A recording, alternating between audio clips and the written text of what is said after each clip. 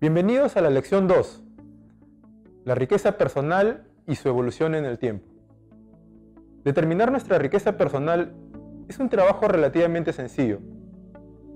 El total de los bienes que poseemos a valores de mercado le restamos el valor de nuestras deudas en el mismo punto en el tiempo. El resultado será nuestra riqueza neta. Pero esta es solo una parte, a la que vamos a llamar riqueza financiera. Hay otra parte que es muy importante y que nosotros ya la hemos mencionado, es el capital humano. Para determinar nuestro capital humano, debemos hacer una estimación de los ingresos que esperamos recibir a lo largo de nuestra vida productiva. Esto, por supuesto, va a depender de nuestro nivel de capacitación. En algún momento en el tiempo, cuando hagamos estudios de maestría, doctorados, etc., probablemente nuestro capital humano se incremente, pues la posibilidad de percibir mayores ingresos también se incrementará. Siendo estos ingresos estimados una variable en el tiempo, para efectos nuestros es necesario que calculemos cuánto vale eso hoy día, es decir, debemos estimar su valor presente.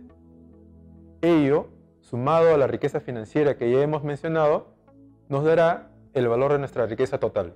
Sobra decir que el capital humano es la parte más importante de nuestra riqueza.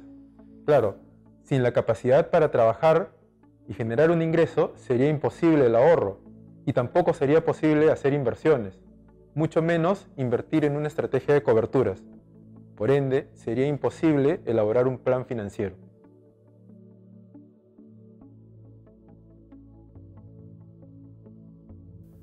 La razón por la que es importante hacer planificación financiera se da debido a la forma en que evoluciona nuestra riqueza a lo largo del tiempo. Veamos.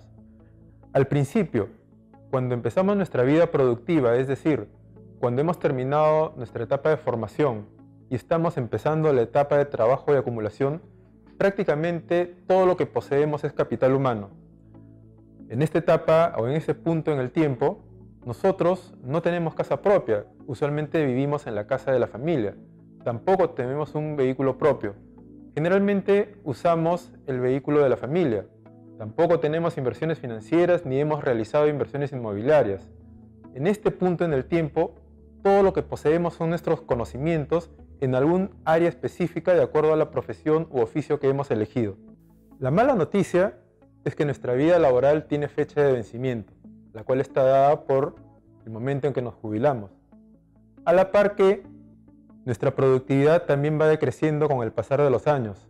No olviden que lo que podíamos hacer a los 30 años ya no lo hacemos de la misma manera a los 50 años. Por esta razón, debido a que el capital humano tiene este comportamiento decreciente a lo largo del tiempo, para que la riqueza total no disminuya, es preciso que los ingresos que generamos a partir del trabajo, es decir, los ingresos que genera el capital humano, se ahorren y se inviertan pero esto no es suficiente.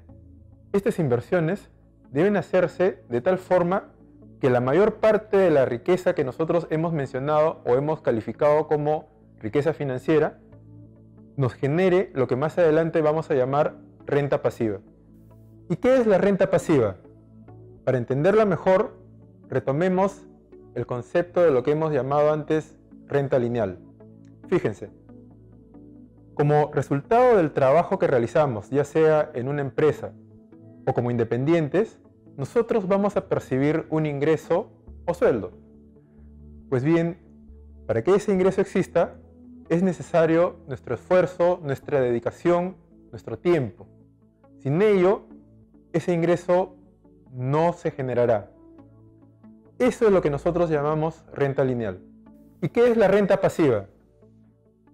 Pues bien, la renta pasiva se genera a partir de ingresos que son independientes de nosotros, independientes de nuestra actividad. No requieren nuestra participación y no requieren que le dediquemos tiempo. Independientemente de lo que nosotros estemos haciendo o de dónde nos encontremos, recibiremos esos ingresos. Y ustedes se preguntarán, ¿de dónde vienen esos ingresos? Pues no se preocupen, no es nada ilegal. Esos ingresos se generan a partir de los intereses en los depósitos a plazo, los intereses de los bonos en los que hemos invertido o de los dividendos que pagan las acciones que hemos comprado en la bolsa de valores o tal vez de alguna renta inmobiliaria que poseemos o por los derechos sobre propiedad intelectual.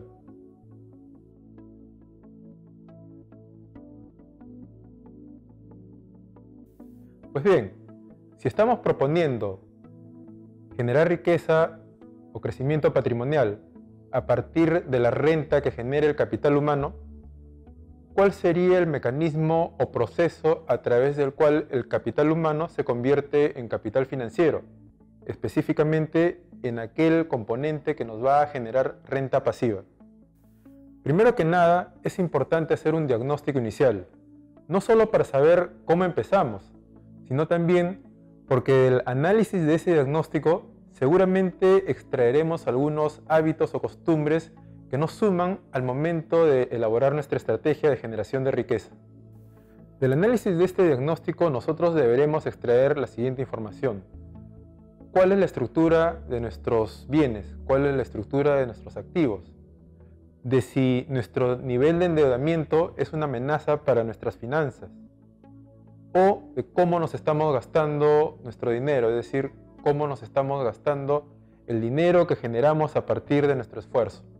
Del análisis de este diagnóstico inicial, nosotros podremos saber si estamos en la ruta correcta hacia nuestros objetivos o si en algún momento tendremos que sufrir la frustración de habernos quedado a mitad de camino, de habernos quedado botados en la carretera de la vida. Esta estrategia debería estar enfocada en principio a optimizar nuestro gasto, es decir, a trabajar un esquema que nos genere un superávit que podamos ahorrar. Esto lo vamos a plasmar a través de un presupuesto y este es precisamente el primer paso. Ahora, permítanme hacerles una aclaración. En este trabajo, para que sea exitoso, se necesita mucha disciplina. Sin disciplina, no les aseguro un buen resultado. Este presupuesto es el que va a desarrollar en nosotros el hábito del ahorro. Es decir, lograr que disciplinadamente nos guardemos una parte del dinero que será lo que nosotros llamamos nuestro ahorro mensual. Por último, ese ahorro que mes a mes nos guardamos, hay que invertirlo. Para que nuestra riqueza crezca en el tiempo, es necesario que invirtamos nuestros ahorros. Y aquí debo hacer otra aclaración. Ahorrar no es igual a invertir. El ahorro busca preservación, la inversión busca crecimiento. ¿Notan la diferencia?